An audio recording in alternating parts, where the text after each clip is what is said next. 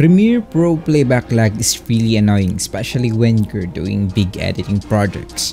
But guess what? I guess I might have just found a solution that would actually fix this problem once and for all. Actually, I've already compiled 5 solutions that fixes Premiere Pro playback lag, well, which by the way you should check out first before watching this video as I'm not going to repeat the other solutions but rather share this new solution that I've recently discovered. I'll be placing the link somewhere here or maybe there. But before we start, just a short message from our sponsor, CDKey Offers. CDKOffers.com is an all-in-one website where you could buy affordably cheap software and games license keys. They offer a vast catalog on their site. Just simply look for whichever software games you're looking for. Click on the buy now button and you should be taken to the order confirmation page.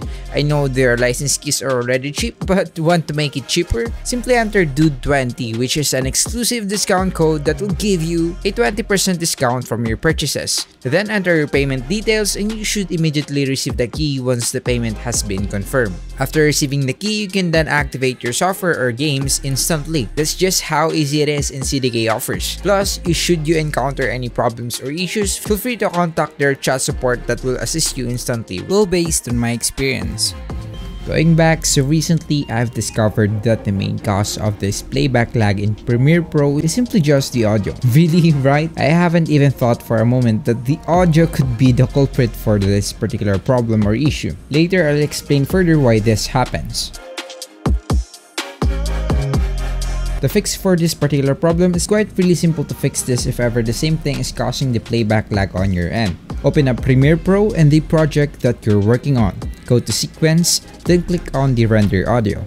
Wait for the rendering to complete and voila, you have a battery smooth playback. Well, hopefully. But if it didn't fix your problem again, I would suggest you to watch my other video. That's a compilation of 5 different other solutions or tweaks that would hopefully definitely fix this for you. If this particular tweak solved your problem, I guess it's really important to understand the problem and how to prevent this from happening again in the future.